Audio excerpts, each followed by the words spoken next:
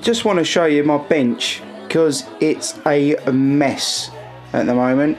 And I've noticed that working all day is taking me longer to get stuff done because I'm constantly looking for things. So I'm going to have a tidy up and then I'm going to show you what I've done afterwards. And uh, I'll show you. Yeah. Ah another little thing. I've got my old jeans around my bench because I keep stuff under there like old suitcases and old, old rubbish. And uh, I don't know you might want to do the same I don't know or think of something different a bit of cloth or something I just stapled it to the bench. Uh, but this is my bench it's a mess. I'm going to sort it out and I'll show you later.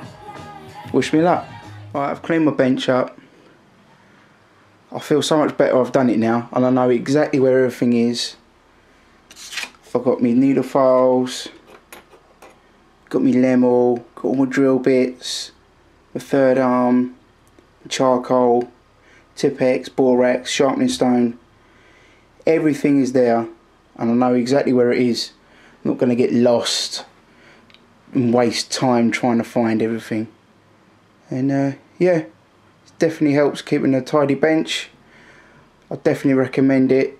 Spend 15 minutes and yeah, end of the day or an hour at the end of the week. Got to admit, it did take me about an hour to sort out, and I did have a good throw out of stuff that I didn't need. Jewelers are generally hoarders, and uh, just get hold of that rubbish that you don't need and just throw it.